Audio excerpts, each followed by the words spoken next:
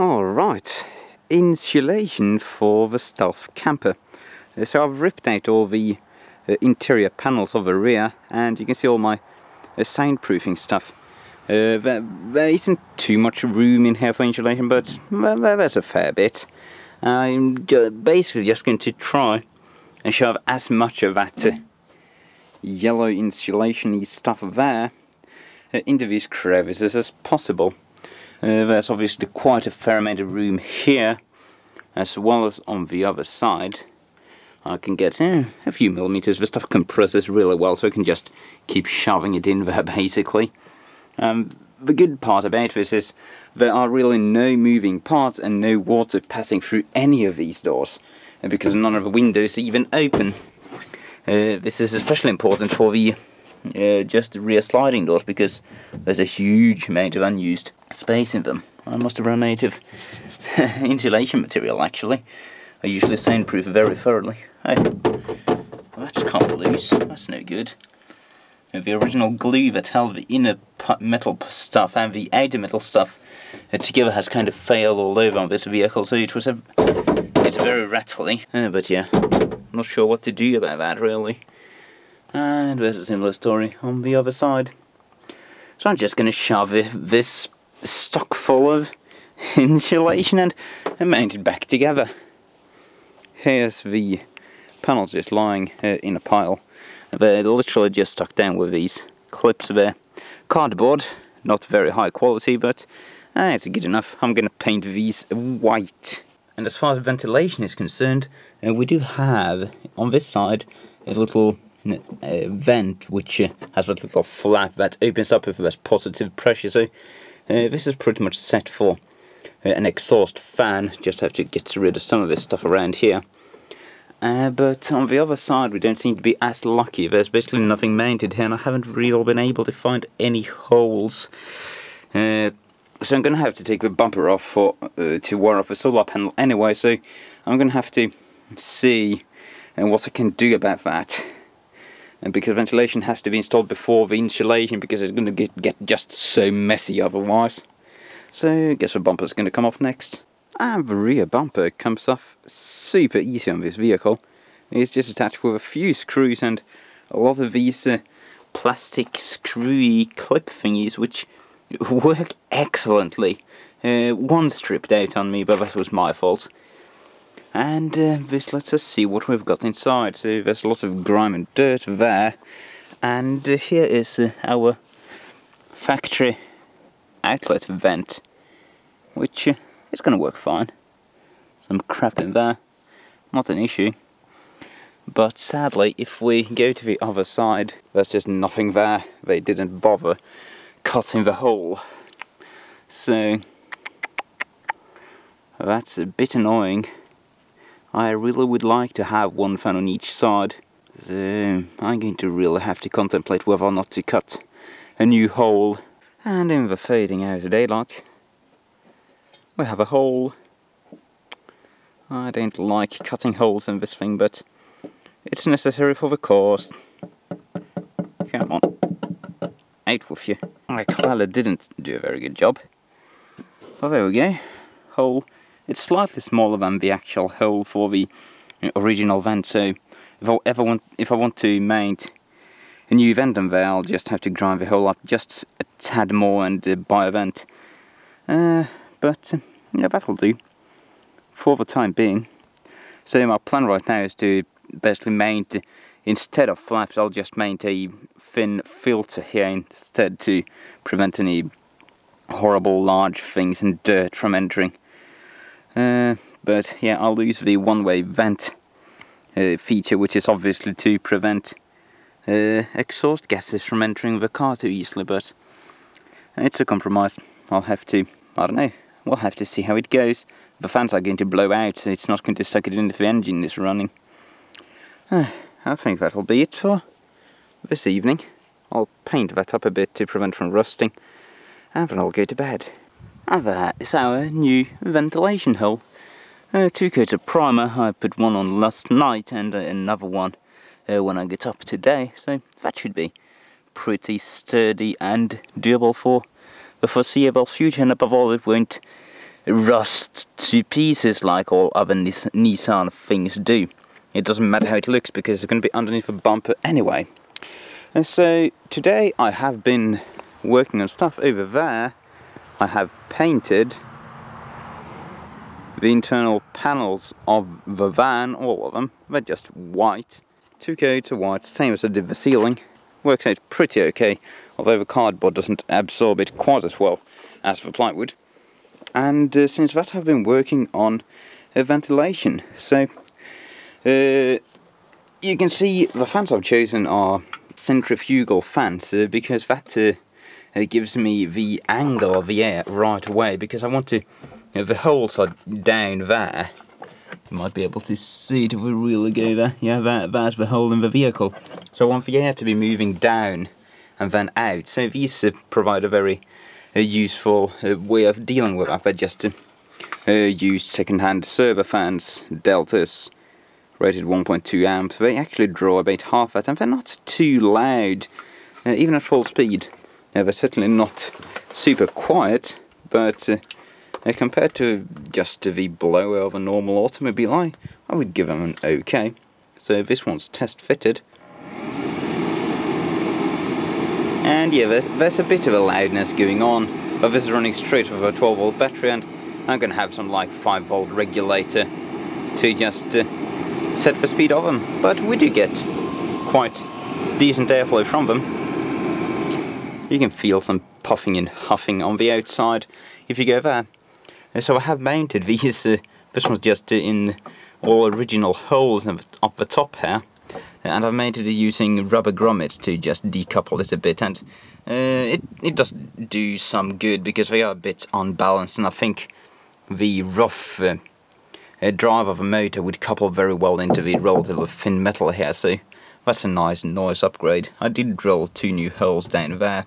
They made real five rubber grommets in total. And I just to make the adapter plate I just used uh, some leftover 4mm plywood. And that's pretty much the same thickness as uh, the normal mount of a computer fan. So these are just absolutely bog standard uh, computer rubber grommets work excellently. I just drilled some 4.5mm holes in the vehicle and 4mm holes on the plate. And uh, it fits excellently to install these uh, you, you'd obviously have to you take off a panel buffer just to slide in and go down like so. I'm going to pull the grommets through. I'm going to have to wire them up before I uh, get the uh, panels installed though. Not entirely certain as to how to do that actually as there's a bit of space issues. I'm not certain how the actual loom is drawn in the vehicle. It probably goes up in that pillar and comes out over there. But I'll, I might just uh, take it over this hole since all the solar stuff is going to be coming out there anyway. Yeah, that sounds like a plan. So, onwards, uh, I've also constructed, the glue should just about be drying up, uh, some air filters. Uh, in place of the one-way way valve and the, well, nothing on the other side. And here they are and uh, prior to beginning this project I took a tour to the local recycling centre and uh, ripped some of this uh, magnet stripping out of old refrigerator doors. This stuff, well it's not super strong. Uh, when you have a considerable distance of it, this will not move. It will come off if you pull it, but uh, uh, forwards and backwards, it's it's just not going anywhere. I can apply apply significant force on that, and uh, I think we can demonstrate it by just hanging this piece. Ah, but yeah, you get the point. It doesn't take a whole lot of this stuff to make a reasonable uh, friction fit. So I have just taken some of this mos mosquito net and glued it onto the magnet strips using uh, uh, I call this shoemaker's glue, I'm not entirely certain what it is. It's quite flexible and quite quick and quite tacky. And this one should just uh, go on like so. Beautiful. It's a bit off center, but that feels very sturdy. A lot better. Originally I was just going to put some of the stuff on top of the netting but that didn't work out. There was just, just a bit too much space in between and there's almost no friction in this material so it was just sliding about. But yeah, I got the other one for the other side of there. Should also be drying up just about now. This one turned out a bit less ugly since uh, this is just a square hole without any holes, uh, screw holes drilled into it. Let's just see if it fits. Yeah, that's not going to be going anywhere. That's that's very sturdy. Imagine it's not even perfectly in place. Not bad. I'm very happy with that. So some more glue on this to just sturdy it up a tiny bit more just to make sure it doesn't come apart. And uh, then I can basically put the bumper back on. Let's just uh, run the fan a bit so you get to, perhaps we can get some wind noise in the microphone. So there's that coming out. That's going to work just fine, especially when I've got two of them. I'm gonna have to see how the entire exhaust situation works out uh, when I'm driving. I wouldn't have to be forced to have the fans are running as, as soon as I'm driving because that's going to carry over even if I'm not using this as a camper. Hmm. Oh well, time will tell. Onward. Fan wiring. And there we go. The fan should now be wired up. So it's just going straight over there, across the headlight, uh, across the interior light, down there. Now, due to the way the car's constructed, they haven't drilled any holes in the back of this. It's welded on the outside, so I have to run the wire through that hole.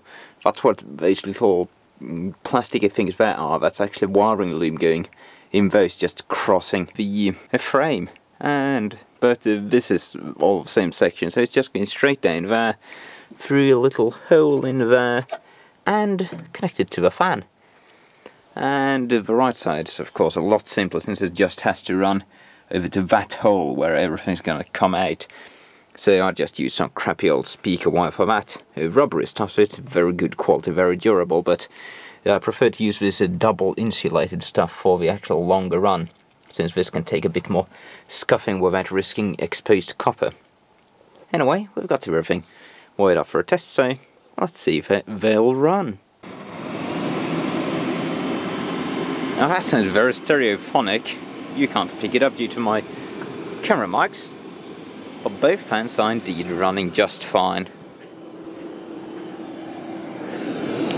Ah, there's a fair amount of air coming out through the filter.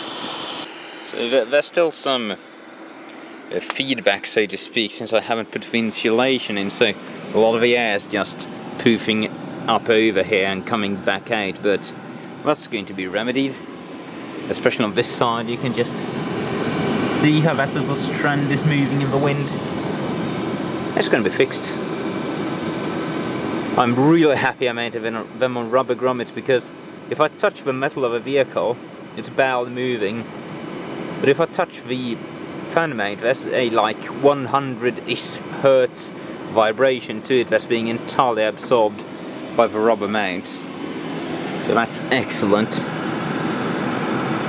Very happy. Definitely going to need a speed controller for me though. And another day draws to an end. But I've certainly, we've certainly achieved quite a bit today. So, for the last few hours I've been uh, pulling the solar panel wiring through. So I made a plan for it. Uh, this wire is uh, going to be attached to the vehicle at all times. It's going to run over here, down here, and come out in one of these automotive connectors somewhere around here, kind of all loose. I like it that way. And uh, that'll uh, connect up to uh, the last piece of this blue wire I've got which I've stuck uh, the other end of that connector as well as some MC4s onto. Uh, it's obviously not thick enough to actually uh, connect properly to MC4 so I've just used lots of tape and lots of grease to keep it kind of watertight. And uh, this is going to work so that these are going to run up to the roof rack somewhere around there.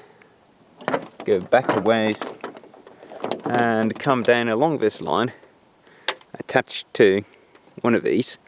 So it's just going to come down in one straight line. It's one of these.